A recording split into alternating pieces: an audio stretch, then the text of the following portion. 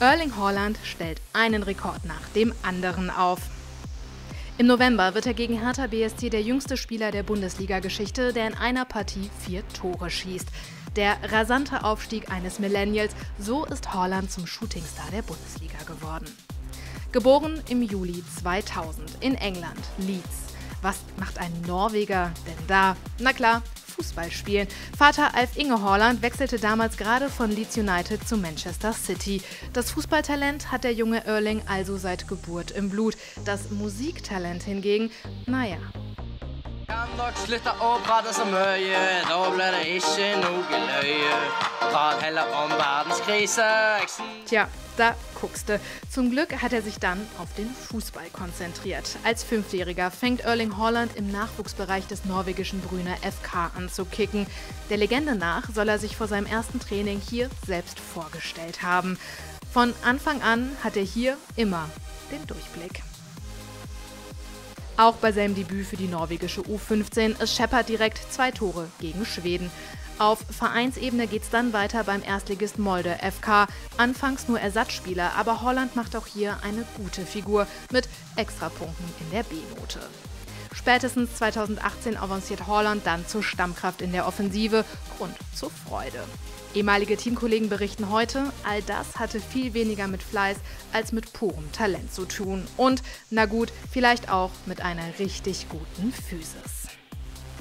Heute Schnelligkeit und Stärke gleichzeitig wie kaum ein anderer. 1,94 Meter, fast 90 Kilogramm in Sekunden auf Topspeed. Kurz durchschnaufen, dann verlässt Holland den Club im Januar 2019 Richtung RB Salzburg.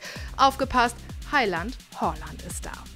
In seinem ersten Champions League-Spiel schießt Holland beim 6:2 gegen Genk drei Tore. Damit ist er mit 19 Jahren und 58 Tagen hinter Wayne Rooney und Raoul der drittjüngste Spieler, der in der Königsklasse einen Dreierpack erzielt.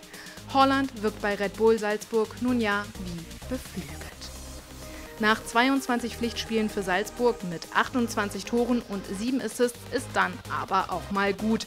Topclubs aus ganz Europa jagen den Norweger. Holland entscheidet sich für die Bundesliga und wechselt im Januar 2020 zu Borussia Dortmund.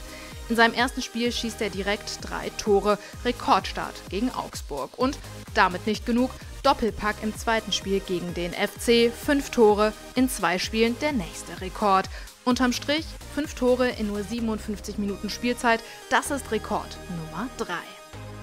Seitdem trifft er und trifft und trifft und hört einfach nicht mehr damit auf. Läuft bei ihm. BVB-Boss Aki Watzke spricht sogar von einer Naturgewalt.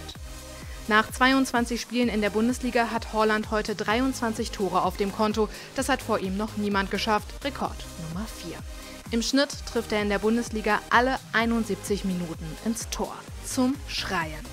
Haben wir noch was vergessen vor lauter Toren? Ach ja, Eminem hätte gerne noch sein Outfit von 2001 zurück, lieber Erling. Und jetzt seid ihr dran. Was glaubt ihr? Was kann Holland mit dem BVB noch erreichen? Wie lange kann der BVB ihn überhaupt noch halten?